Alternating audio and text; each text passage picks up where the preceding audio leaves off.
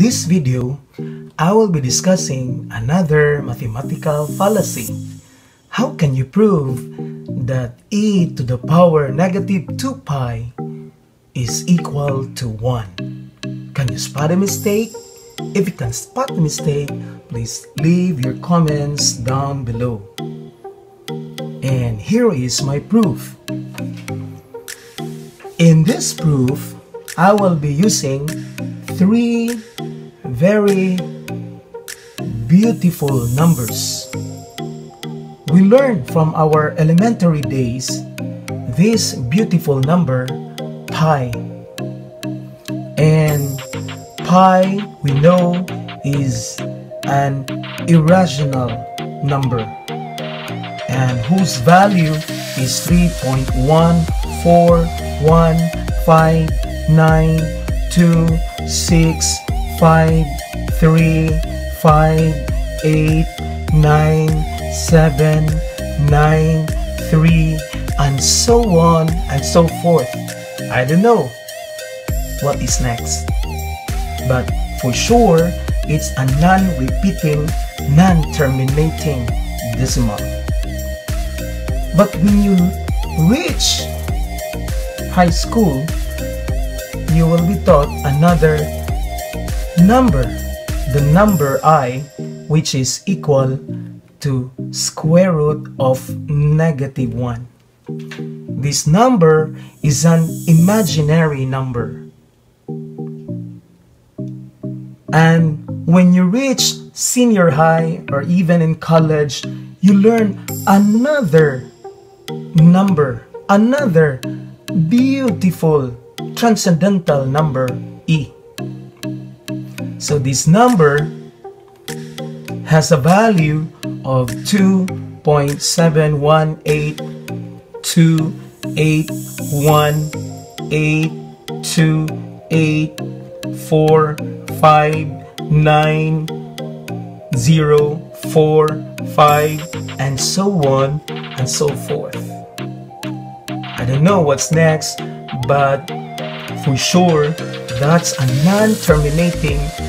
non-repeating decimal. Now, why is it that I am talking about this number? Because these three beautiful numbers were joined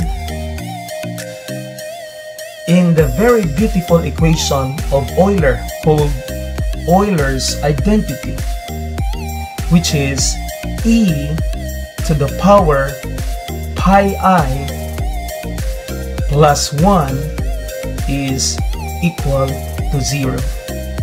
But before I will start my proof, I will just tell you a very uh, funny story about this equation. The fun part of this equation. This pi and i are always quarreling each other long time ago. The i said, he said, Hey Pi, you need to be rational.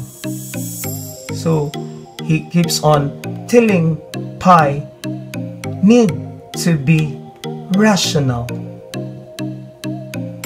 However, Pi also replied, You know, I, you need to be real. You need to get real. So, get real.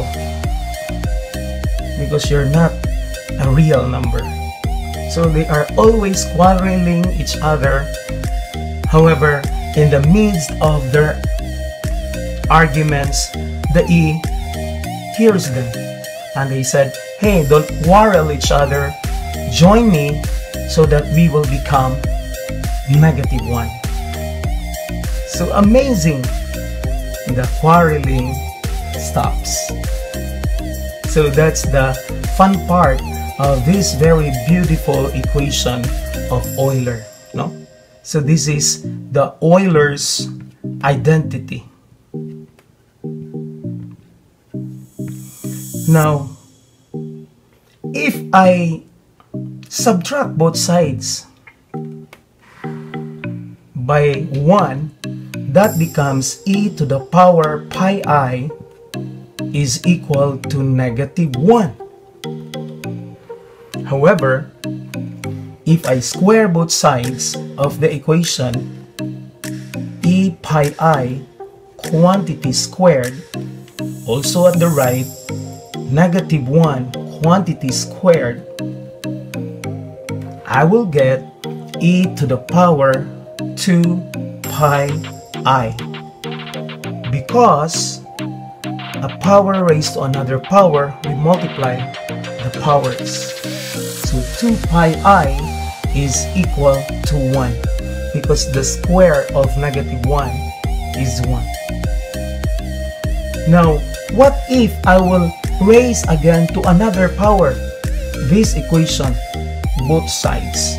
So, e to the power 2 pi i to the power i.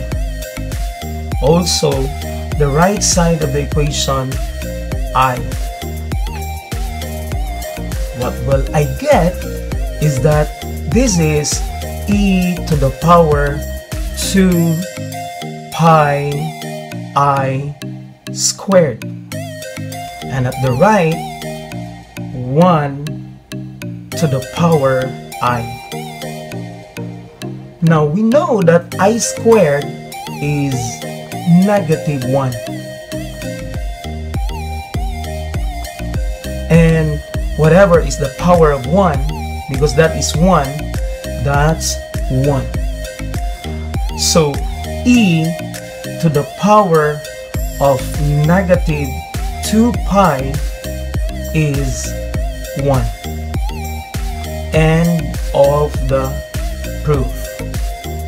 But that is clearly an absurdity. Can you spot the mistake?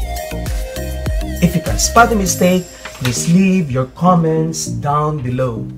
If you learned something today, check out my channel for more videos like this and click subscribe. Click the notification bell below so you'll get notified whenever I'll be posting a new video. Don't forget to like this video to show your support. And always remember to math your way up. Thank you.